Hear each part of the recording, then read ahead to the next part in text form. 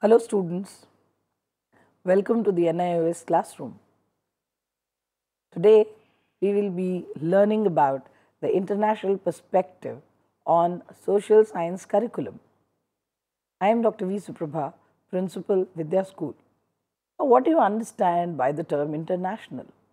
As the term suggests, we are talking about not just the country where we live in, but we are also talking about all the other countries with whom we have relationships.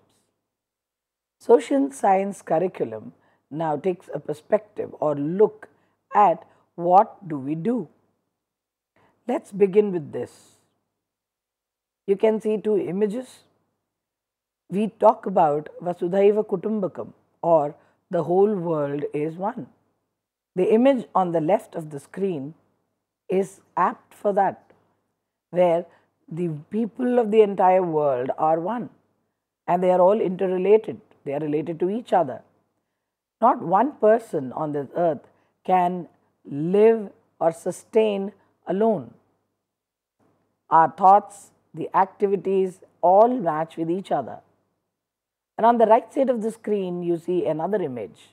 Now, this image is about how the globe has become one. There's so much of globalization that's happening all around. And what do we mean by globalization?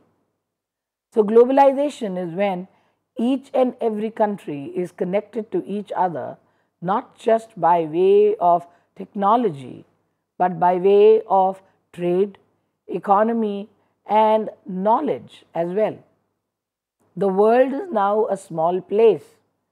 You can talk to people from anywhere to anywhere. You can reach one end of the from one end of the world to the other end in a span of more than 22 hours or 24 hours. The whole world has now become a local. It's not anymore global, but it is one village as we call it. Now look at this. There are some concerns and the concerns are the same across the world. What can you see are the concerns? Just list out a few concerns. The most important concern today that's we are all battling with is the concern of global warming, the concern of pollution, the concern of desertification, the concern that we are letting go of all our resources. There is overutilization of the resources. We have not yet been able to tap new resources. Many buildings are coming up, creating a jungle of concrete. Unplanned development, unplanned constructions. If you look at the Mumbai floods or you look at how a place fills with water with just a few inches of rain, shows clearly the kind of work that we are doing. The concerns across the world remain the same. There are tsunamis which have increased. There are lot of fire, forest fire, which is happening all across, and the fire spreads too fast than we can even think. The number of tornadoes are increasing. The glaciers have melted away. And we know that the glaciers of Antarctica are also melting quite fast. And imagine what would the result be? Once the glaciers are gone, the entire earth will be submerged in water. And then, of course, will be the ice age. So, you see, the concerns are the same. You can see the resources on the tree. That's a tree of resources. Various type of resources, including people, is being utilized. Overuse of technology, overuse of phone, sound, noise, waves is all impacting. Each one impacts us. Resources are depleting so fast that we really do not know whether the new generations to come will have enough of any of these resources. The petroleum coal resources are depleting, the minerals are depleting, the rocks are depleting, the rivers are overflowing because they don't know where to flow. To the extent that the animals are now coming into the land where people live because we have encroached upon their area. The forests are being cut and the animals don't know where to go. So, if you look at this, the entire world has the same problem. Now look at these images. There is terrorism, and yet we need peace. When we talk about globalization, we talk about how to sort issues, how to stop terrorism, how to bring about equality, how to tackle the gender differences that we have, how can we actually deal with various aspects, various issues, various problems that are there in our society. These are the common natural disasters that you can see. There is drought, the nuclear bomb was dropped, and still we have the fear of a nuclear attack. So, it will happen only once that all countries have now become nuclear superpowers and it could happen anytime. We also have pests destroying the crops. We don't know where these crops are eaten up. We have caving of the landforms. We have dust storms all across the deserts which are covering everything. The water is polluted with all the plastics and all the unwanted material that we throw into the water. The land is degrading because we are not utilizing the land properly. The tsunamis, the volcano eruption, the earthquakes, all are common natural disasters that we all see. These are our modern age concerns.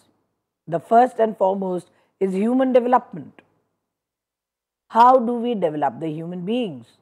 And the first thing towards that is providing them with good education. How do you get good education? Good education is available by having many schools and teachers who come and teach, who empower the children, empowering the downtrodden, empowering the women, empowering the people who are illiterate, who live in the corners of our country. Literacy is one most important aspect or one most important adage that can help in the human development. Then the community comes together. That, that's the only thing which will eradicate poverty. That's the only thing which will eradicate unemployment, which will make these citizens capable. They can handle anything that they want. And human beings are the biggest resource that the modern world has.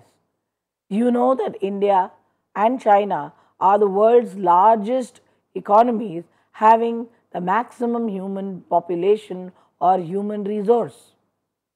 Unless this resource is put to great use, it is not going to be of great use at all.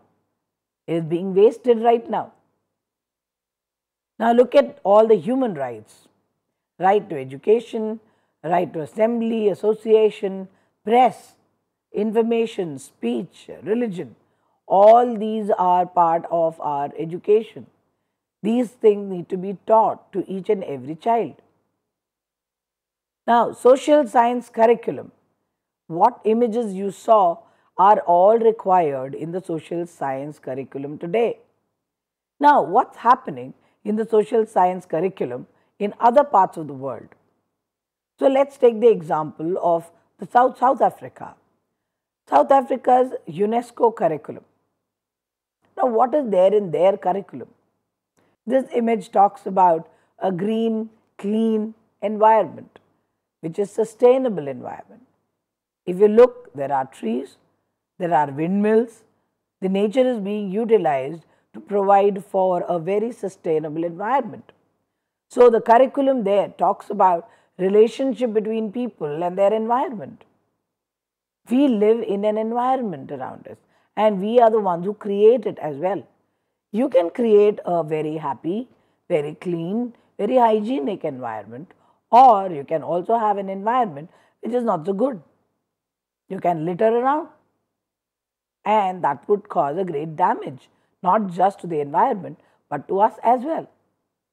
You know that malaria, dengue and many such diseases are on the rise. And you know why are they on the rise? Because the people are not taking care of the environment. And so the curriculum in South Africa has brought that in. People understand that they need to take care of their environment. So the students are taught from the lower age groups that how they need to take care of environment.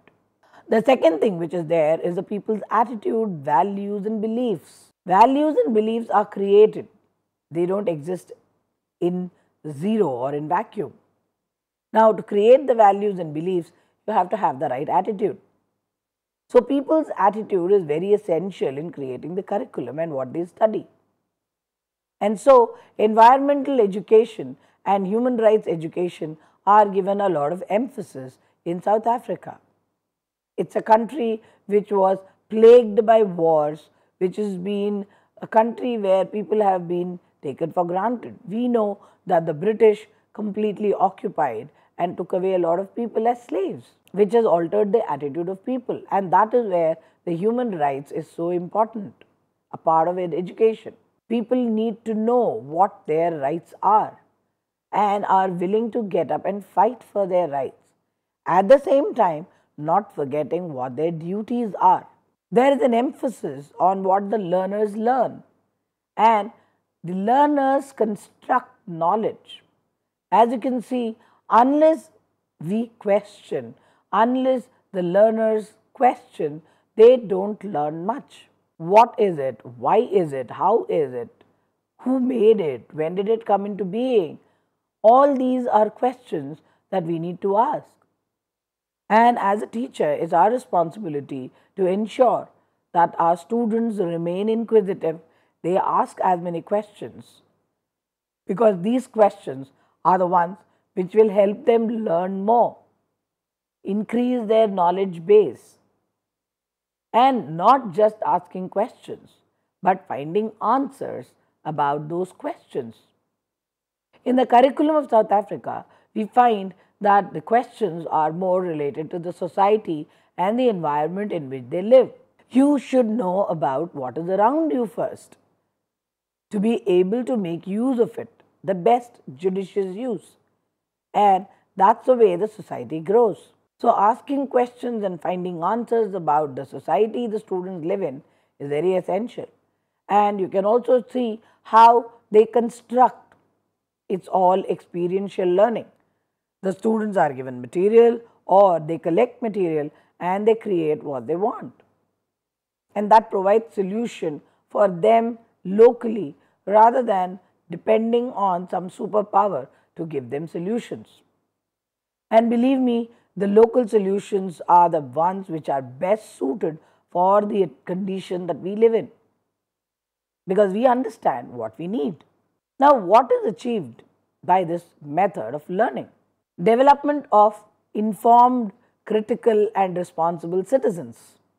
Now, the citizens as they grow up, because these children of today are the citizens of tomorrow, and they need to understand, be able to critically examine, that's where we said question, and become responsible citizens who can take care of themselves and their surroundings. And these exercises which are conducted, activities which are performed by the students in classroom help them keep informed.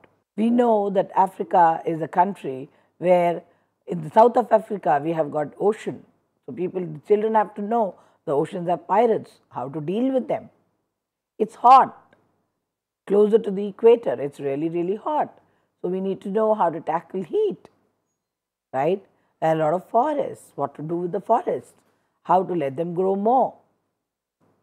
The students also learn to adapt themselves and live according to the cultural diversity of the changing society.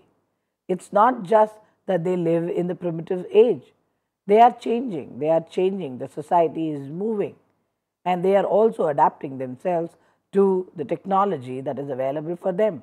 By doing this, the learners are equipped to contribute to the development of the society because now the students know what their needs of the society are and how can they bring in the newness in technology, the modernity into their lives.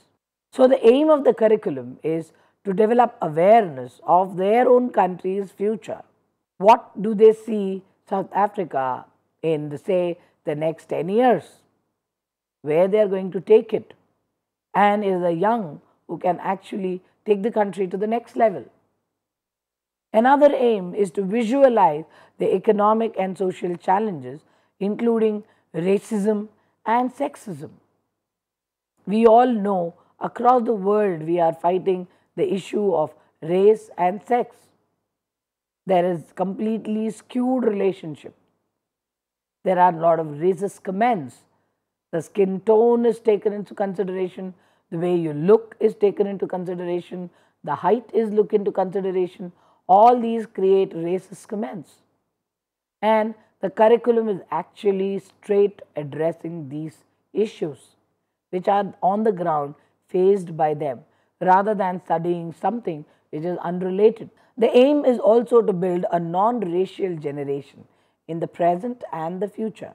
The present generation will be the future of any nation and hence the present generation needs to be taught what they really are going to use in the future and who they are going to become in the future. The learners explore various issues race, gender, class, genocide, which is very common in many parts of Africa, and the impact of all that the past has had. So, the impact of what the past did and what the present is creating so that they can create a new future. So, they learn from their past and create a future. What the curriculum look like? The curriculum develops inquiry and investigation because when you question, you are basically investigation. When you question, you are basically inquiring into what is and what is not, what can be better, how can it be improved upon. The curriculum also looks into the past and the present in history of the place. In geography, the relationships are between the people and their environment and the resources. We know that people, environment and resources are all interrelated to each other. To study, to learn about those interrelationships would pave a way for a better tomorrow. So, learning about the interrelationships is very essential. Different skills like how historical interpretations can be done. New skills to interpret are being developed. Developmental issues on the local level, national level and global level are critically analyzed. So, the student knows what are the issues at the local level and they work towards sorting out those issues. They also learn about their national issues and the global issues so that they can be developed to handle those issues as well as they grow up. Education is value based. So, the values are never compromised. The values are kept intact. In fact, the South African curriculum is has having a lot of emphasis on having value systems in this in this country in their people. The constitution, the human rights and the environmental issues are very many key areas of the curriculum. Now, these areas and these issues need to be learnt by the students. Just imagine how easy it would be for the students to actually work on creating a sustainable space, the school they are in or the workplace that they go to and create something new. New crops can be grown if they know what the geography of the place is like, what the temperature and climatic conditions are going to be. The children can develop new ideas to grow new crops. Similarly, when they know their history, what happened and why did they fall prey to another country who governed them, they can work upon it and ensure that that is not repeated now. The skills are required in this world.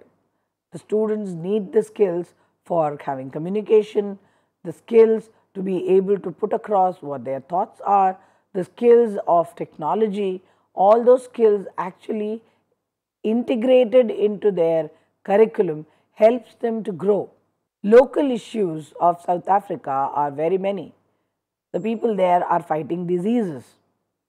Many waterborne diseases are completely prevailing there and the students need to learn how to tackle those waterborne diseases. And students are the ones who can actually pass on information, share information with adults and make the adults understand the need for sorting this. Similarly, nation as a whole, what is it dealing with? What are the policies? What would the government want them to do? How can they get better education, higher education, which countries they can visit? all these information is very, very essential. And so these are all imparted in the classroom. The civics or the social science, social curriculum, political life is all made to understand for the children because these students who live in that area need to work on these. Values hold a very important place in any society and that goes to South Africa as well. And UNESCO curriculum has laid a great emphasis on values. The constitution was newly created and written. As you all know, South Africa got their independence from the Britain much later than India did. And once they were independent, there were a number of civil wars within the country. Now, to understand why such civil wars happened, what was the result of those civil wars will actually show the students what new can they create and what they should not be doing. The constitution lays down the principles by which the country is being run or they know what are their rights and what are their duties, what they need to do, what they can do, what they cannot do. Similarly, human rights violations have been many in South Africa. Like we spoke about the sexist comments and the racism which is rampant all over, the Human Rights Commission is very active in South Africa. The people of South Africa need to learn more about their human rights, to voice what is theirs and to get what is theirs. And that's the reason why human rights has a very, very important space, place in the curriculum of South Africa. South Africa has vast forests, grasslands, where animals live freely. The environmental issues are very important and the students need to understand these environmental issues so they can preserve the environment. The environment of South Africa invites number of tourists to come and visit the country, which actually boosts their economy because that gives them money. And so, taking care of the environment is important. And when and how can they take care of the environment? Only when they know about it and the issues that are related to that. And that is the key to the development of South Africa. So, today in this topic, we saw how UNESCO has created the curriculum which is very humane, which is very close to the human beings and their attitudes, their psychology, their sociology, their thoughts. What is integral to their country, to their space is what is created in that curriculum.